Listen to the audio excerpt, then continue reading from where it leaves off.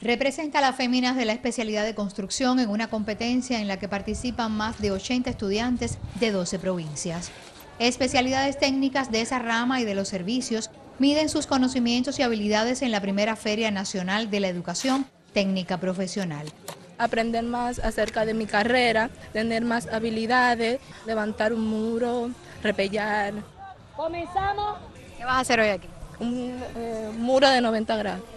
Organizada por el Ministerio de Educación, tiene el acompañamiento del Programa de Naciones Unidas para el Desarrollo, PNUD, y el apoyo financiero de la Agencia Suiza para la Cooperación, COSUDE, quienes desde 2019 apoyan el proyecto Profet para el fortalecimiento de la formación profesional de jóvenes y trabajadores en esa enseñanza.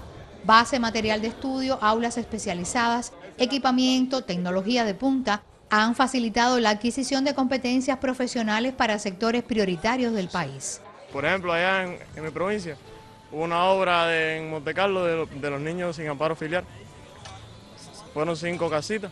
¿Has trabajado ahí? Sí, me mandaron para ahí por dos meses. En los 36 primeros politécnicos que empezaron en la primera fase, ya se han graduado y se han insertado al mercado laboral más de 37 mil técnicos medios y obreros calificados. Exposiciones, clases metodológicas y la posibilidad de medir sus habilidades son parte de este encuentro de dos días en el Politécnico José Gregorio Martínez, uno de los 52 incluidos en el proyecto.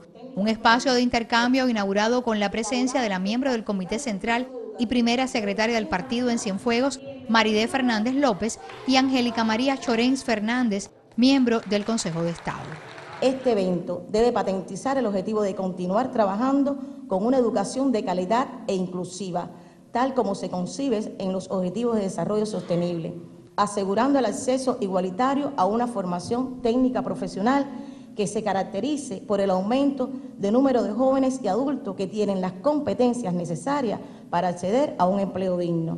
La primera Feria Nacional del Proyecto Profet, cuya segunda fase transcurre hasta el 2024 en el país, fomentará la orientación vocacional y el intercambio de experiencias y buenas prácticas que favorezcan las posibilidades en el mercado del empleo de miles de jóvenes cubanos.